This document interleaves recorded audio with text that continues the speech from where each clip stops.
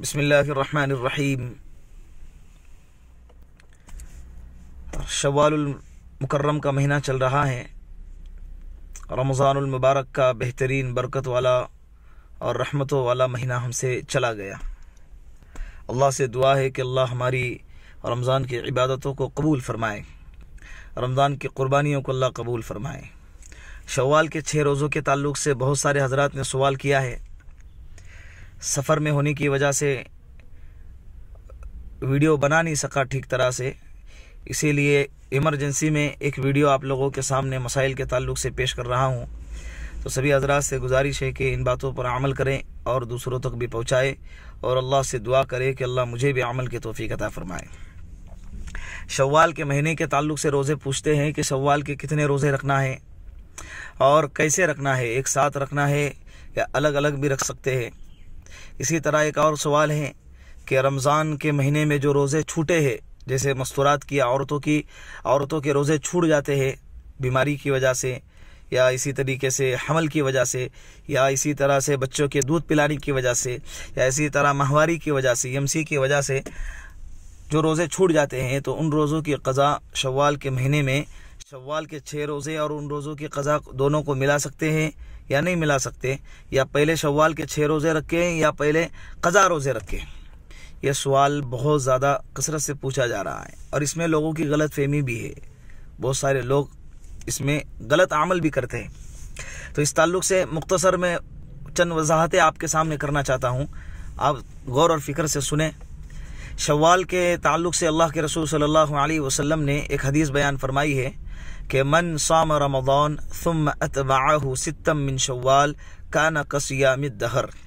شوال کے چھ روزے کے تعلق سے فضیلت ہے اس حدیث میں کہ اللہ کے رسول نے فرمایا کہ اگر کسی نے رمضان کے مہینے کے روزے رکھے اور اس کے بعد شوال کے چھ روزے رکھے تو اس کو اللہ رب العزت پوری زندگی پوری زندگی روزہ رکھنے کا ثواب عطا فرمائیں گے۔ سبحان اللہ۔ کتنا مختصر سا عمل ہے، لیکن ثواب کتنا زیادہ ہے۔ شوال کے چھ روزے کی فضیلت بہت زیادہ ہے۔ اور یہ اس لیے بھی ہے، جیسے اللہ کا جو قانون ہے کہ من جا بالحسنت فلح عشر امثالیہ کہ جو شخص ایک نیکی لے کر آئیں گا، اللہ اس کو دس نیکی عطا فرمائیں گے۔ ابھی رمضان کا ایک مہینے کا روزہ کسی نے رکھا ہے، تو یہ تیس روزے ہو گئے۔ اور اسی طرح شوال کے چھ روزے اس کے ساتھ ملا دے، تو یہ چھتیس روزے ہو گئے۔ تو یہ چھتیس کو اگر دس روزے کے ساتھ، دس کے ساتھ ضرب دے دے، تو تین سو ساٹھ دن ہو گئے۔ گویا کہ اس نے چھتیس روزے رکھ کے اللہ نے اس کو تین سو ساٹھ روزے کا ثواب عطا کیا۔ اور اگر کوئی شخص ہر سال اس طرح سے کرتا ہے، تو اللہ اس کو پوری زندگی روزہ رکھنے کا ثواب عطا فرمائیں گے۔ اور نفل روزے رکھنا بھی چاہیے، کثرت اس کی کرنا بھی چاہیے۔ اس لیے کہ جب فرائض میں کمی آئیں گے تو کل قیامت کے دن نفلی نفلی روزوں سے نفلی عبادتوں عبادتوں سے فرائض کی کمی کو پورا کیا جائے گا۔ جیسے انسان سفر میں جاتا ہے تو ساتھ میں اسپائر میں ایک ٹائر رکھتا ہے یا اس کے سامان کے کچھ چیزیں رکھتا ہے۔ گاڑی کے کہ اگر اچانک ایک خراب ہو جائے تو اس کو لگا دیا جائے۔ تو اسی طرح فرائض کے اندر اگر کچھ کمی کوتاہی ہو اور بے شک ہوتی ہے ہمارے فرائض میں کمی اور کوتاہی، تو نوافل کی کثرت اگر ہوں گی تو اللہ رب العزت کی ذات سے امید ہے کہ نوافل کے ذریعے اللہ فرائض کی کمی کو پورا پورا کریں گے۔ جیسے فرض نمازوں کے بعد ہم سنتوں کا اہتمام کرتے ہیں اور نوافل کا اہتمام کرتے ہیں تاکہ سنت فرائض میں جو نمازوں میں کمی آئیں گی، اللہ اس سنت اور نوافل کے ذریعے اس کمی کو پورا کریں گے۔ تو شوال کے روزے رکھتے رہنا چاہیے۔ اب اس کے اندر مسئلہ یہ ہے کہ کس انداز سے رکھے۔ تو شوال کے روزے کے تعلق سے فقہ نے بیان فرمایا ہے کہ مسلسل ایک ساتھ بھی رکھ سکتے ہیں۔ ایک ساتھ چھ روزے۔ اور الگ الگ بھی رکھ سکتے ہیں۔ آج ایک رکھا پھر ایک دن کے بعد، ایک دن بیچ میں چھوڑ کر اس کے بعد ایک رکھا یا اسی طرح ایک ہفتے میں دو رکھے چار ہفتے کے اندر، تین ہفتے میں چھ روزے ہو جاتے ہیں۔ اسی طرح ایک ہفتے میں ایک رکھا دوسرے ہفتے میں دو رکھا پھر تیسرے ہفتے میں ایک رکھا پھر چوتھے ہفتے میں بقیہ رکھا اس طرح سے الگ الگ اپنی سہولت کے اعتبار سے چھ روزے رکھ سکتے ہیں۔ یہ دھیان اور یہ خیال رہے کہ شوال کے مہینے کے اندر ہی چھ روزے رکھنا ہے۔ شوال کے جانے کے بعد اگر کوئی دوسرے مہینے میں روزے رکھتا ہے تو شوال کی فضیلت اس کو حاصل نہیں ہوں گی۔ دوسرا مسئلہ، رمضان کے چھٹے ہوئے روزے جو اس کی قضا کرنا ہے تو ان روزوں کو ان روزوں کے ساتھ دونوں کی ایک نیت کے ساتھ ملا کے روزے رکھ سکتے ہیں۔